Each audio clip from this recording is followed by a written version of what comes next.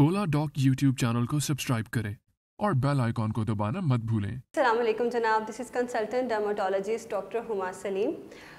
Healthy बाल, खूबसूरत, चमकदार बाल हमेशा से खूबसूरती की अलामत रहे हैं और ये हमारे कॉन्फिडेंस को भी बूस्ट करते हैं और हेल्दी स्किन और हेल्दी लाइफस्टाइल को भी इंडिकेट करते हैं। बिल्कुल इसी तरह अगर वक्त से पहले बाल सफ़ेद हो जाएँ आ, मतलब एजिंग के साथ तो बालों में सफ़ेद होना ही होता है लेकिन कुछ लोगों में अर्ली ट्वेंटीज़ में थर्टीज़ में ही बाल सफ़ेद होने का अमल शुरू हो जाता है। तो ये वाकई एक बड़ी परेशान कन सिचुएशन होती है। आ, अब हम आज की वीडियो में इस बात पर गौर करेंगे कि क्या वजूहत ऐसी हो सकती हैं हमारे लाइफ में हम कहाँ पर ऐसी गलतियाँ करें जिसकी वजह से हमारे बाल वक्त से पहले बहुत जल्दी सफ़ेद हो जाते हैं और हम इसको प्रिवेंट कैसे कर सकते हैं और ट्रीट कैसे कर सकते हैं। पाकिस्तान के टॉप डॉक्टर्स के साथ अपॉइंटमेंट बुक करें। वो भी पेशेंट फीडबैक देखते हुए। लाखों लोगों की तरह पाकिस्तान के सबसे बड़े डॉक्टर नेटवर्क का फ़ायदा उठाएँ। और आज ही ओला डॉक ऐप डाउनलोड करें। ओला डॉक डॉक्टर का अपॉइंटमेंट आसानी से। बाल जल्दी सफ़ेद होने की वजूहत में अगर हम देखें तो सबसे कॉमन वजह होती है गज़ाई कमी। आ, हमारी गज़ा में अगर विटामिन ए की बहुत ज़्यादा कमी है कॉपर की बहुत ज़्यादा कमी है, आयरन, विटामिन सी और विटामिन डी, ये वो कंपोनेंट्स हैं जो हमारी बालों की हेल्थ को मेंटेन करते हैं। इसकी पिगमेंटेशन को, इसकी लाइफ जो डलनेस हमारे बालों में आती है, इसको प्रिवेंट करते हैं। बालों का लेंथी होना डेंस होना, अगर हमारी डाइट डेफिशेंट है इन चीज़ों में तो डेफिनेटली वक्त के साथ साथ बाल कमज़ोर भी हो जाएँगे, गिरना शुरू हो जाएँगे और वक्त से पहले सफ़ेद भी हो जाएँगे। इसके अलावा मोस्ट कॉमन वजह होती है जहनी तनाव। आपकी वर्क प्लेस ऐसी है, आपकी पढ़ाई का स्ट्रेस है या कोई और ऐसी परेशानी है जिसकी वजह से आप हर वक्त स्ट्रेस का शिकार रहते हैं तो ये चीज़ भी आपके हेयर फॉल को बढ़ाती है, आपके बालों को वक्त से पहले सफ़ेद करती है और बहुत ज़्यादा धूप का एक्सपोजर धूप में बहुत ज़्यादा फिरना, बालों को कवर किए बगैर तो उससे यूवी रेडिएशंस की वजह से हमारे बालों का पिगमेंट मुतासर होता है।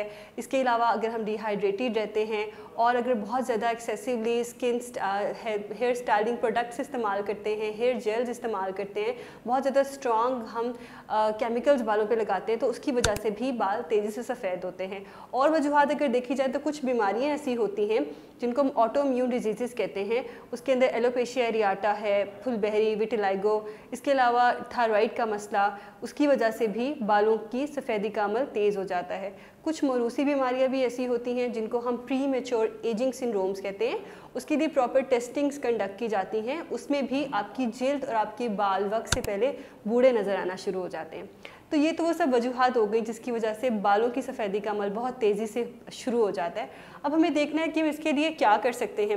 अगर हम घरेलू टोटकों और लाइफस्टाइल की बात करें तो घरेलू टोटकों में आप सबसे पहले इंश्योर करें कि आप ऐसी डाइट्स लें जिसमें ये जो सारी गज़ाई, ज़रूरियात हमारे बालों की हैं, वो पूरी हों। तो सबसे इंपॉर्टेंट है जी कॉपर कॉपर का सबसे रिच सोर्स हमारी नेचुरल फ्रूट डाइट के अंदर इंजीर है। फिग्स आप अंजीर का इस्तेमाल बहुत ज़्यादा करें तो आपको बहुत ज़्यादा कॉपर मिलेगा आपकी बालों की और आपकी स्किन की हेल्थ के लिए। इसके अलावा वाइटामिन ए उसके लिए गाजर। गाजर बहुत रिच सोर्स है वाइटामिन ए का तो वो बालों के लिए और हमारी बीनाई के लिए बहुत अच्छा है। फिर एंटीऑक्सीडेंट जो बहुत रिच एंटीऑक्सीडेंट है, वो है विटामिन सी और वो मौजूद है हमारे सिट्रस फ्रूट्स में, जैसे कि ऑरेंजेस हैं ग्रेप फ्रूट्स हैं लेमन्स हैं। इसका इस्तेमाल अपनी डाइट में बहुत ज़्यादा करें। फिर आ जाता है जी green tea extract green tea extract basically बहुत ज़्यादा इफ़ेक्टिव एंटी एजिंग प्रॉपर्टी रखते हैं। तो इसको अगर हम इस्तेमाल करें दिन में एक दफ़ा, रात को सोने से पहले, या इसके टी बैग्स को भी हम आँखों पे डार्क सर्कल्स के लिए यूज़ कर सकते हैं तो ये भी बहुत इफ़ेक्टिव रेमेडी है, जिससे हमारे बालों की हेल्थ बहुत बेहतर होती है। फिर हम बात करते हैं कि हम कौन कौन से ट्रीटमेंट ऑप्शंस यूज़ कर सकते हैं, जिससे हम इसको हेल्प हेल्प आउट करें, अगर हम लाइफस्टाइल को भी चेंज कर चुके हैं स्ट्रेस को भी कम कर चुके हैं, फिर भी बालों की सफ़ेदी का अमल बहुत तेज़ है। हमारा फ़र्स्ट टारगेट ये होता है कि ये बढ़ते हुए जो बाल प्रोग्रेसिवली सफ़ेद हो रहे हैं, सबसे पहले तो ये रुक जाएँ, जितने हैं उतने ही रहें। और उसके बाद फिर नेक्स्ट स्टेप होता है कि जो सफ़ेद हो चुके हैं, उनको वापस लाने के लिए हम क्या कर सकते हैं? हमने ये करना है कि हम नेचुरल हेयर डाइज की तरफ़ रहें। नेचुरल हेयर डाइज में हम इस्तेमाल कर सकते हैं जी इंडियन गूसबेरी जिसको आंवला भी कहा जाता है। आंवला एक नेचुरल पिगमेंट देता है बालों को तो हमें हेयर डाइज का इस्तेमाल कम करना पड़ेगा। हम ब्लैक कॉफ़ी ग्राउंड्स को, हम ब्लैक टी को इस्तेमाल कर सकते हैं बालों की पिगमेंटेशन के लिए। फिर भी अगर आपको हेयर डाई पर जाना है तो आप कोशिश करें ऐसा हेयर डाई इस्तेमाल करें जो हाइपो एलर्जेनिक हो, जिसमें कम से कम केमिकल्स इस्तेमाल हो। ऐसे बहुत सारे ब्रांड्स हमारी मार्केट में अवेलेबल हैं। फिर हम इस्तेमाल करते हैं जी सप्लीमेंट्स पेशेंट्स को दिए जाते हैं, उनकी डाइटरी डेफिशिएंसी को डायग्नोस करके अकॉर्डिंगली उनकी रिक्वायरमेंट के हिसाब से सप्लीमेंट्स एडवाइस किए जाते हैं। ऐसे शैम्पूज दिए जाते हैं जिसमें लीस्ट केमिकल्स का इस्तेमाल हो और वो रिच हो वाइटामिन ए में वाइटामिन सी में। कुछ ऐसे हेयर स्प्रेस का इस्तेमाल किया जाता है जो बालों की न्यूट्रिशन को और हेल्थ को इम्प्रूव करें। इसके बाद कुछ ऐसे इन ऑफ़िस प्रोसीजर्स किए जाते हैं, जैसे कि पीआरपी जो बालों की ग्रोथ को और उसकी हेल्थ को प्रमोट करने में हेल्प आउट करते हैं।